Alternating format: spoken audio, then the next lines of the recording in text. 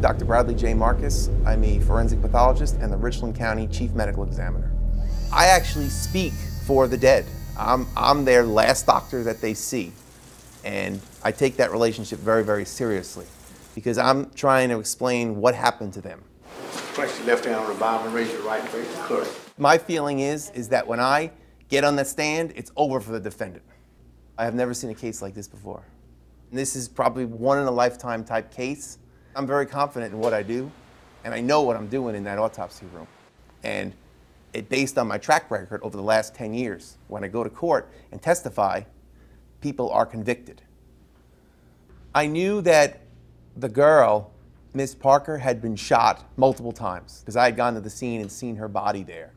I only knew about uh, Mr. Capnerhurst that he had shot in the head.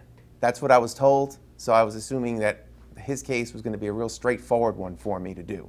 He was brought out in the, uh, the body bag. So we opened the body bag, and I saw he still had all his clothing on, on him. Right away, I knew these guys did, were dealing with multiple gunshot wounds here, multiple. As I'm unclothing it, a bullet, one of the discs from the 410 shot shell round falls out.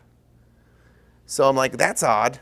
And then I realized that he actually had been shot there was a, also a shot, a gunshot right to his left forearm here, which I don't think anybody noticed at the scene.